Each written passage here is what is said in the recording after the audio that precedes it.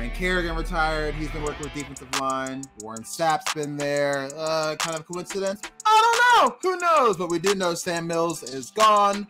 So long, suckers! What's up, everybody? Trev here, one third ref the district. Also, full press coverage here to talk about Doomsday on a Tuesday for the Washington Commanders. Defensive line coach Sam Mills has been nixed.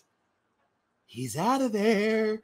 Yeah, Ron Rivera announced today after training camp practice he's been fired, relieved of duties, sent home, packing.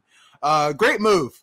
Uh, JP Finlay said supposed to happen January. I don't know what's supposed to happen. I just want it to happen, and it happened. We draft beautiful kings on our defensive line, first rounders, and we cannot seem to get to the quarterback. Uh, Ryan Kerrigan retired. He's been working with defensive line. Warren Sapp's been there. Uh, kind of coincidence? I don't know. Who knows? But we do know Sam Mills is gone. Sam Mills Jr. Actually, Sam Mills the third, the junior, whatever he is.